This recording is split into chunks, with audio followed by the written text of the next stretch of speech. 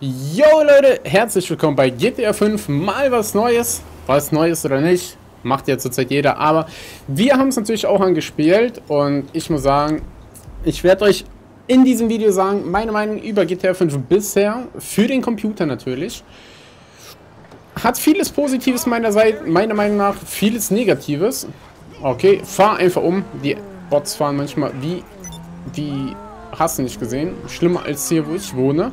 Und das sagt schon einiges. Und ja, wat, wir, wir fangen mal grob an. Es ist vor ein paar Tagen GTA 5 erschienen. Ich habe nicht sofort von Anfang an ein Video rausgebracht. Ich wollte das erstmal anspielen. Ich habe mich sehr, sehr, sehr, sehr auf GTA 5 gefreut. Ähm, ob ich enttäuscht bin oder nicht, werdet ihr in dem Video erfahren. Gefreut? Ja, ist eine Sache. Natürlich war GTA schon lange vorher für die Konsole draußen. Ist jetzt für PC endlich erschienen. Ich glaube nach 6, 7, 8, ich glaube nach 8 Monaten. Nee, oder? Doch, 6, 7 Monaten später. Und ich muss sagen, ich habe mich echt lange drauf gefreut. Dann wurde es öfter und öfter verschoben. Und dann habe ich gesagt, hm, ja, muss, muss nicht unbedingt sein. So. Also, wenn die das verschieben, dann habe ich das als nicht so gut eingeschätzt. Inzwischen einige Spielstunden. Also wir haben mit der Community, wenn man hier guckt, falls ihr Bock habt, mit uns zu spielen, haben wir eine Crew aufgemacht. Wir haben jetzt wie viel? Meine Freunde 32. Ähm, nee, das hier wollten wir sagen. Mucka Army. Joint einfach Mucka Army. Könnt ihr mit uns spielen. Wird auch, denke ich mal, ein aktives Stream-Game sein, weil das kann man extrem geil mit ganz vielen Leuten zusammenspielen. Ähm, wir haben es jetzt einige Stunden gesuchtet und ich muss sagen, es gefällt mir tatsächlich. Erstmal möchte ich ein großes Lob... Hallo, was ist denn hier los? Also, wir sind im Haus, deswegen eine blöde Map. Wir gehen eben nochmal raus. Erstmal möchte ich ein großes Lob an Rockstar aussprechen, denn ich glaube, das ist eins der seltenen Games, wo die Server von Anfang an gingen. Einige hatten zwar Download-Probleme, aber bei mir ging es von Anfang an. Und wenn man jetzt das mit H1Z1, mit der Standalone oder mit den anderen Spielen vergleicht, die in letzter Zeit rausgekommen sind, die Server haben echt gut funktioniert und funktionieren immer noch. So sieht die Online-Map aus. Hier gibt es ganz viele kleine Minigames, also man spielt sozusagen ein Free-for-All.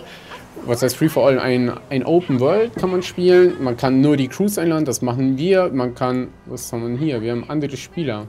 Jetzt haben wir noch einen anderen Spieler bei uns drin. Wir machen immer normalerweise Crew Game Only, das heißt alle aus der Crew können einfach nachjoinen, ohne anzufragen. Dann haben wir hier blaue kleine Minigames, sag ich mal. Da sind Autorennen bei, da sind Helikopter bei. Meine Lieblingsspiele sind diese Koffergames. Vor allem eins auch dieses Koffergame, als auch genau auf der anderen Seite. Da gab es eins mit LKWs. Macht mega, mega Bock. Die kennt man, glaube ich, auch aus der Playsee aus der, oder aus der Xbox. Ähm, ich habe es nie gespielt. Ah, das sind andere Spiele, die liefern sich dann Battle. Ähm, ich habe auf der Playsee das nie gespielt. Ich habe kein Konsolengame. Umso mehr habe ich mich einfach gefreut, um auch mit anderen Leuten das zusammenspielen zu können. Ähm, allerdings gibt es auf der PC-Version einige Sachen, die es auf der Playsee oder Xbox-Version nicht gibt. Ähm, als allererstes ist, was auch sehr stark gehypt worden ist, ist dieser First-Person-Modus. Heißt also, es gibt, man kann GTA jetzt First-Person-only spielen was ich davon halten soll, ich weiß nicht. Ich finde es nicht gut, ehrlich gesagt. Also ich bin kein First-Person-Only-Fan, vor allem nicht bei so einem Spiel, weil wenn ihr, wir haben also auf einem hügeligen oder bei den, ja, auf einem hügeligen Gebiet bisschen First Person gegeneinander gespielt. Es war die Hölle, also man kann nichts erkennen. Aber vielen Leuten gefällt das Fahren in First Person. Vielen Leuten gefällt das. Es gibt auch zum Beispiel Maps. Ich muss mal eben. Ah, wir sind wieder drin. Es gibt Last Standing Maps, also so ein Minigame. Da, da spielt man Last Standing, jeder hat ein Leben und ähm, ne, der am Ende überlebt, der gewinnt. Ähm, das hat natürlich super Bock gemacht. Das hat super Bock gemacht in First Person, aber das ist halt immer so eine. Ja, also man kann nicht alles in First Person spielen. Würde ich auch nicht jedem empfehlen. Jetzt suchen wir mal hier eben die Hüte. Mal gucken, wo wir hier... Outfits wollen wir nicht ansehen. Wir wollen die Hüte ansehen. Ich glaube, die gab es hier, oder?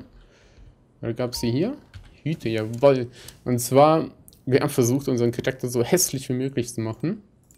Wo haben wir denn... Wir möchten... Ich möchte meinen Lieblingshut. Der zieht ihn leider öfters mal aus. Hier die schöne Fliegerkappe, Mann. Der sieht doch cool aus, oder? Der sieht doch fresh aus. Hier sogar mit Mokka-Logo, Tattoo und alle möglichen haben wir auch auf dem Auto, wer das eben gesehen hat. Ich glaube, die T-Shirts könnten das auch.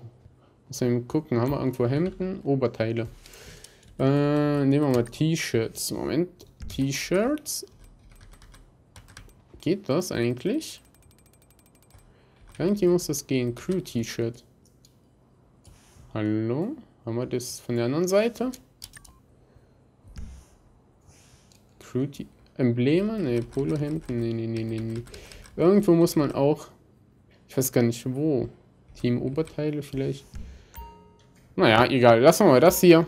Sieht ein bisschen serious aus. Haben uns ein paar Tattoos stechen lassen für über 100.000 Money. Man fängt, also da wir alle Vorbesteller eigentlich waren, haben wir mit ordentlich Geld angefangen. Haben uns hier so ein Auto zugelegt. Ähm, für den Anfang ganz gut. Ein äh, Turismo ist das. Fährt sich ordentlich. Ist auch nicht so OP, der Wagen. Da haben wir ihn bei. Und einen kleinen Mucki. Ihr seht an der Seitentür. Bisschen zerkratzt das Auto. Aber mir gefällt das Spiel. Also ich muss sagen, mir gefällt das. Es gibt einige Sachen. Ich habe mich natürlich nur auf den äh, Multiplayer-Modus gefreut, auf den Online-Modus. Einige Sachen, die die sind einfach super gemacht. Die sind super gemacht. Also diese Teamspiele mit der Crew, das, die Einladung, alles funktioniert, macht mega, mega viel Spaß. Was allerdings weniger funktioniert ist, wenn man eine Crew-Lobby erstellt. Man spielt, sage ich mal, mit 16 Leuten aus der Crew zusammen. Bedeutet also, auf der Map können 16 Leute zusammenspielen. Aus seiner Crew. Die joinen einfach nach. Dann gehen wir auf ein Minigame, sagen wir hier Autorennen, ähm, fangen an, das zu spielen. Was passiert? Es funktioniert, Einladung kommt, wir spielen, wir gewinnen. Dann wählt man am Ende, kann man auswählen, ob man freien Modus geht, irgendeine andere Minimap spielt oder wieder ja, oder halt in freien Modus, ne? also wiederholt. Erst mal wiederholen, nicht freien Modus. Aber ob man halt wieder in, dies, in diesen freien Modus geht, in dem wir sind. Ähm, ja, man klickt auf freien Modus und es ist zu 90% so, dass irgendjemand nicht nachconnecten kann. Heißt also, er muss, er muss wieder in den Online-Modus gehen und immer wieder connecten, connecten, connecten. Und das Spiel hat doch einige Ladezeiten. Das Spiel hat doch einige Ladezeiten. Ähm, das ist Manko Nummer 1. Manko Nummer 2, meiner Meinung nach, ich sage erstmal die schlechten Sachen. Manko Nummer 2 ist definitiv, dass... Oh, wir können hier was einbauen. Was bauen wir denn? Lackierung, Dach, Spoiler. Ja, was haben wir denn fürs Dach? Lackiertes Dach? Ne, brauchen wir nicht. Brauchen wir nicht. Federung können wir mal, nehmen wir mal ein bisschen tiefer legen. Ähm, zweites Manko ist die Steuerung.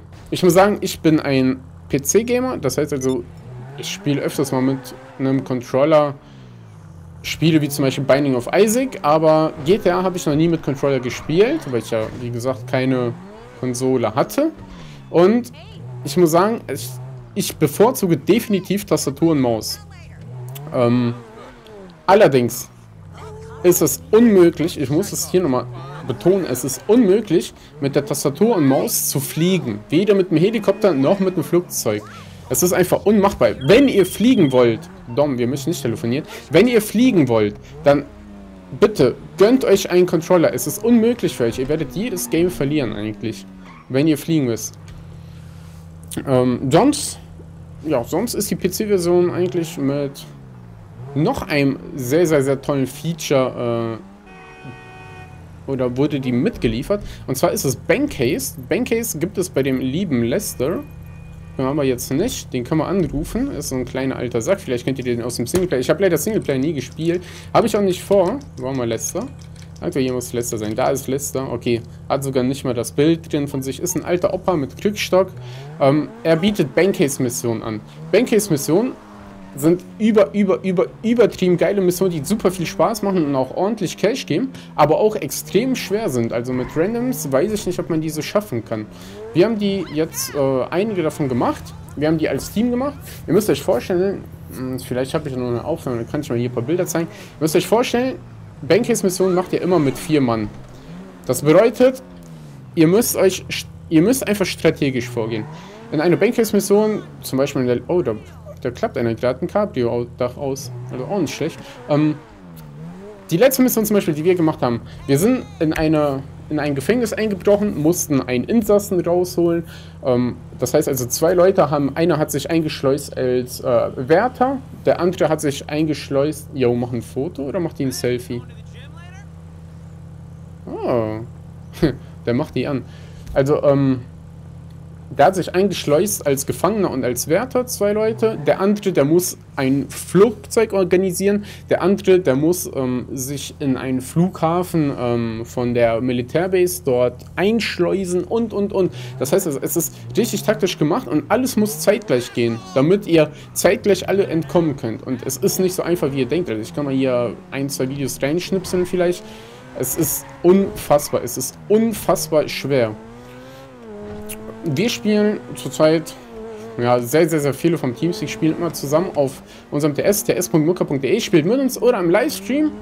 Ähm, ich kann es definitiv jedem empfehlen, ist natürlich sehr teuer, aber worauf ich mich noch am meisten freue, was noch gar nicht so wirklich da ist, das wären sein entweder die Modded Server oder halt die selbst erstellten Community Map. Weil diese Minigames, die ihr hier seht, das müsst ihr euch vorstellen, was haben wir hier? Wir haben hier zum Beispiel Team Deathmatch oder Deathmatch, ich weiß gar nicht, was ist das ist Team Deathmatch, ähm, geht 6 bis 30 Spiele, heißt also perfekt für einen Stream mit 30 Leuten aus der Crew ganz schnell einladen, zusammenspielen, zwei Teams, also 15 gegen 15, auf den Abrang 1. Das heißt, ihr müsst kein Level steigen. Äh, Wertungen gibt es natürlich immer, die Leute bewerten das, aber auf die darf man nicht achten, weil ich finde, es gibt 40% gewertete Spiele, die ich mega geil finde. Ähm, und ja, super, super geil. Und diese Minigames kann man dann später, oder kann man jetzt, glaube ich, schon selber erstellen. Heißt also, ihr könnt eure eigenen Missionen erstellen, die dann hochladen, die werden von anderen Spielern gespielt, bewertet und, und, und. Und da freue ich mich mega drauf. Das kann man sich vorstellen, wie mit Minecraft, mit diesen ganzen Endergame-Mods oder zum Beispiel mit Warcraft 3, The Frozen Throne, das kennt mit den ganzen Tower Defense Maps und sowas. Eine schlechte Sache ist mir noch eingefallen, und zwar gibt es ein Leveling-System. Leveling-System ist, ähm, Ganz einfach, Moment, wo gucken wir das am besten nach? Wir gucken das mal unter dem Social Media Club. Ihr könnt leveln, dadurch, durch das Level könnt ihr euch neue Sachen kaufen, neue Waffen, neu, also ihr müsst die Waffen erstmal freischalten durch Level oder halt Autos oder Gebäude oder, oder, oder Sachen oder zum Beispiel Tuning-Sachen für Autos. Ähm, die seht ihr hier bei Social. Wir können ja mal bei der Crew gucken. Was haben wir bei der Crew? 60 Mitglieder. Okay, sehe ich nicht. Dann gucken wir bei meinen, ne, hier Crewmitglieder. Da kann man jetzt zum Beispiel die Level sehen. Ähm, wir sind jetzt, glaube ich, Level 25 gewesen. Bender Gaming ist jetzt zum Beispiel Level... Steht da nicht. Ist aber über Level 240. Schade, man. Da sieht man nicht, da sieht man nicht. Ähm, sehe ich das vielleicht unter Freunde? Wir schauen mal bei Freunde vorbei. Gucken wir mal Ingame-Freunde. Da müsste das doch stehen. Freundesliste anschauen, genau.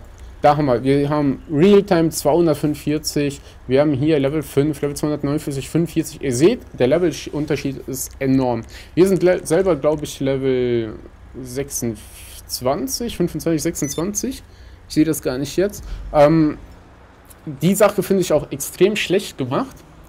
Ähm, man konnte sich die PlayStation 3 und Xbox Level, beziehungsweise ihre Accounts, auf den PC rüber transferieren lassen. Das heißt also, die Leute, die vorher einen Xbox oder PlayStation Account hatten oder haben, äh, die können sich einfach bei Social Media damit anmelden und haben dann alle ihre Fahrzeuge, all ihr Geld, alles, was sie damals auf Blaze gesammelt haben, hier. Ist natürlich für die, von, oder von, ja, wenn ich, wenn ich aus deren Sicht sehe, ist es natürlich gerecht aus den Spielen oder aus der Sicht von den PC-Spielern finde ich das ungerecht, weil die haben einfach jetzt alle Autos, die haben alle Waffen, die haben einfach einen großen Vorteil. Die haben alles aufgetunt und ähm, ja, ich finde es ein bisschen ungerecht. Und ich finde das auch, das versaut ein bisschen das Spiel, weil es hätte echt ein, so ein kleines Suchtpotenzial werden können, wer zuerst Level 200 oder 100 wird bei Spielen, ne? Aber das ist nur eine kleine Sache. Ähm, sonst finde ich alles andere am Spiel super ist zwar noch ein bisschen teuer. Vielleicht solltet ihr noch ein bisschen warten, wenn nicht so viel Geld zur Verfügung hat, ähm, bis die Community Maps rauskommen. Aber online-mäßig auf jeden Fall top. Offline kann ich leider nichts zu sagen. Ähm, trotzdem empfehlenswert. Also ich habe man muss den Prolog spielen. Der Prolog alleine war schon mega cool. Und GTA ist ja dafür bekannt, dass die Missions einfach unnormal gut sind. Eine Sache ist mir noch eingefallen. Ähm, Autos, ich kann es mal demonstrieren. Wir haben jetzt hier ein Auto absolut nicht getuned. Wir fahren jetzt mit vollem Karacho gegen ein anderes Auto. Ihr seht, es passiert fast nichts. Wir haben nur ein, zwei Kratzer. Es ist unmöglich, Autos kaputt zu bekommen. Es ist unmöglich, Autos kaputt zu bekommen. Einfach, also es ist schon möglich mit Raketenwerfern, aber so, man kann, man kann überall gegenfahren. Es passiert einfach nichts. Die Kratzer sind minimal.